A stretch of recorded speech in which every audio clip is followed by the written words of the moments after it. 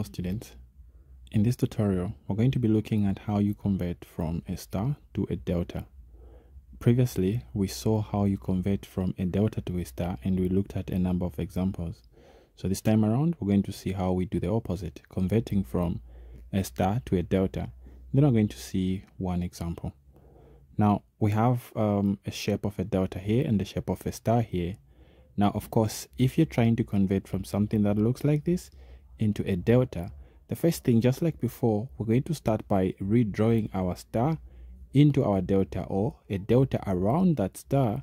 Once we've done that, then we'll see is a relationship or a formula that we're going to be using. So the notation that you use for your formula really depends on the letters that you assign. So let's see. Let's say we have a shape like this. In this case, what you see is that I already have my delta in blue drawn around my star and my star is the one in yellow there.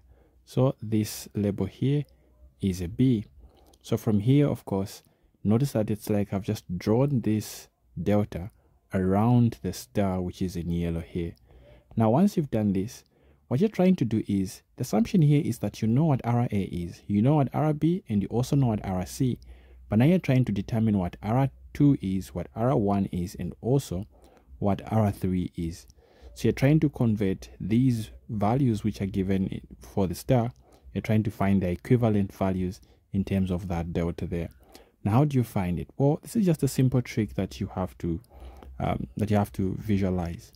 It starts with the type of letters that or characters that you're going to assign here. Doesn't matter what you have. Let's say you wanted to find R1 here. So if you're trying to find what R1 is, all you have to see is that R1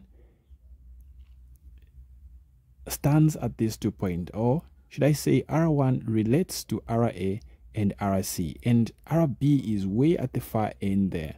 So once you have that in mind, the first thing that you do is multiply all the resistors that are making up that star, not all together, in pairs. So you're going to start with RA multiplying RB then add it to again RA, but now multiply it with the other one, which is RC, then plus the notice that the only pair I haven't multiplied now is RB and C. So this is going to be RB multiplying RC.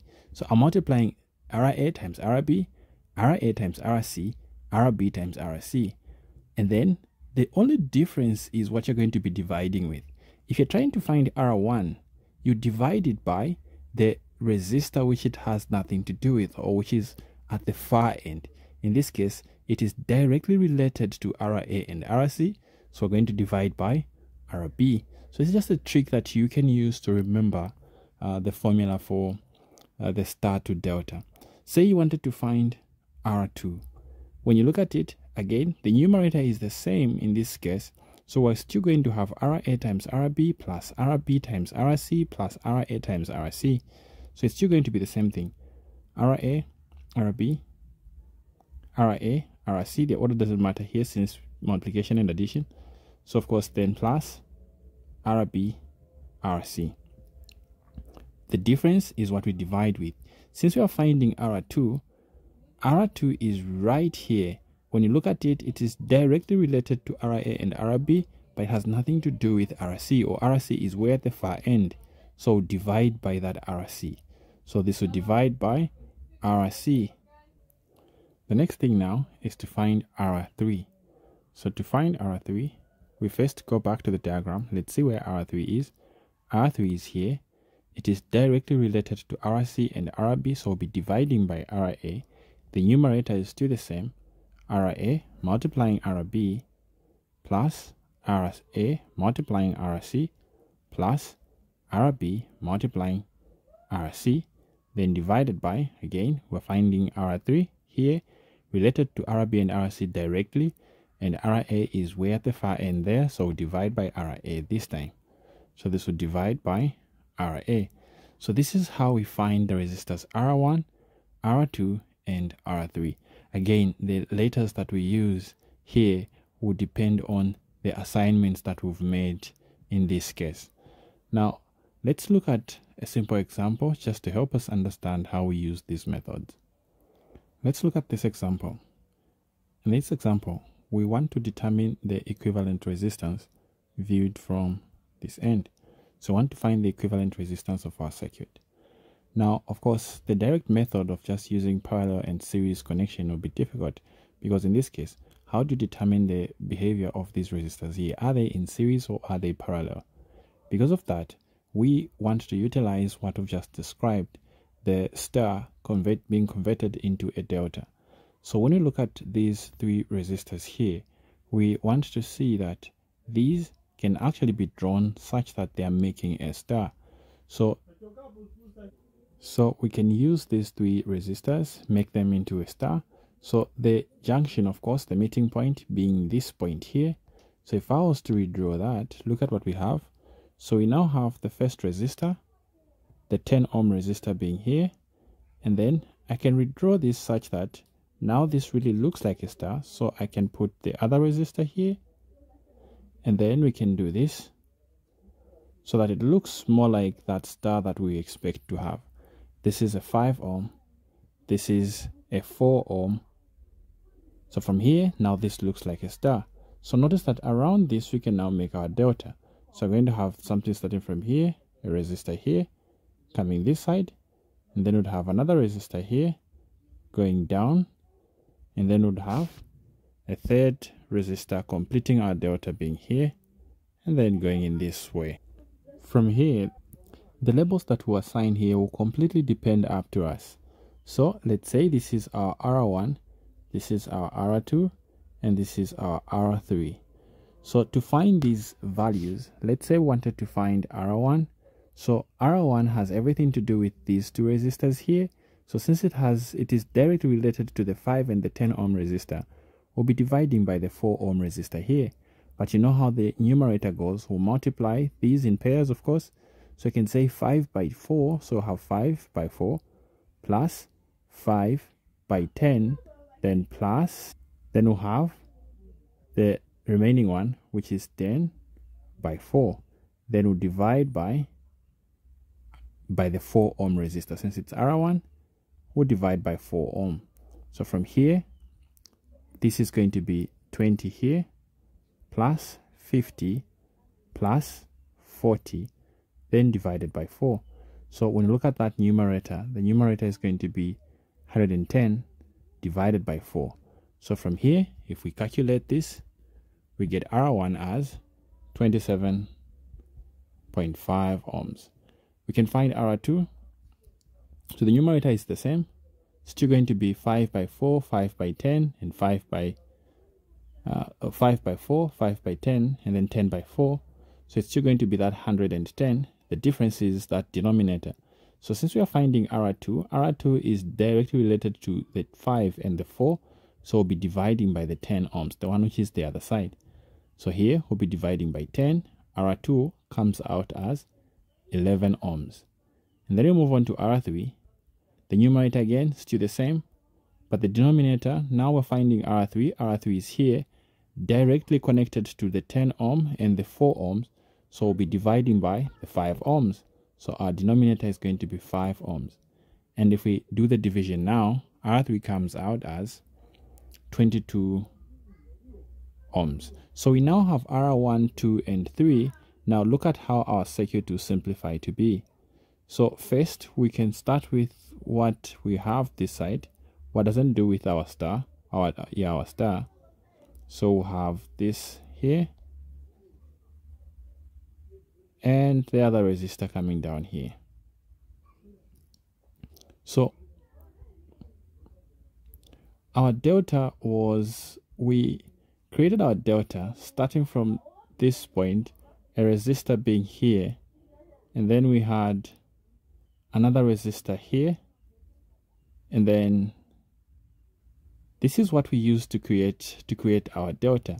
So in place of this, we had so instead of this, instead of that that star, in place of it, we're going to create, we're going to substitute our delta. So let's put our delta there. Our delta is this. So you have a resistor here, R1. And then this side we have R2. and then this side we have uh, this is R3 and then this is R1 R2 is this side so we'll remove the star in place of the star we'll only have the delta so this side we had R2 so remember R1 was 27.5 and then R2 R2 we found 11 ohms. And then R3 R3 we found 22 ohms. And of course as before this was 10 this was 8 and this was 9 ohms. So now let's see how we continue. Now observe that the 10 ohm resistor and the 27 ohm resistor are now in parallel to each other. Justification being that they stand on the same points this side and also we know to say this is considered as one point. So they are standing on the same two points so these two resistors are in parallel to each other. We can say the same thing about the 22 ohms and the 8 ohm resistor. These two are also in parallel to each other. So let's combine them let's start with the 10 and the 27 so since there are only two we'll multiply then we'll divide by their sum which is 10 plus 27.5 so from here, if we do this, the combination here comes out as a 7.33 ohms. Then we move on to the 8 and the 22. So we have 8 by 22 divided by the sum 8 plus 22.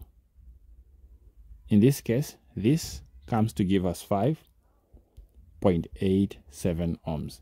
So our circuit now will have the 9 ohms on top. Then we'll have the parallel connection of those two resistors the this was the which two were that the 10 and the 20 27.5 and we know to say those two give us 7.33 so you have 7.33 here and then again the parallel connection of the 8 and the 22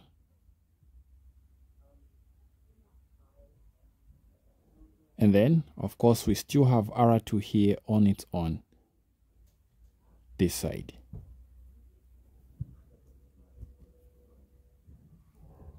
So once this is done, once this is done, uh, this of course was uh, 5.87, so we have 5.87 here. So this R2, R2 we found 11. So I have 11 ohms here. And this this is 9 ohms so these two are in series with one another so we can just directly add them so when we add those we get 13.2 so since they're series we are adding so now our circuit will have the 9 here in this line we'll have those two which were in series and that's 13.2 and then we see that 13.2 is parallel to the 11 So now these two are parallel. We can combine them again, which will be 13.2 by 11 divided by the sum 13.2 plus 11. And if we do this, this gives us, so this will give us 6 ohms. So that now our circuit becomes the 9 ohms here in series with the 6 ohms.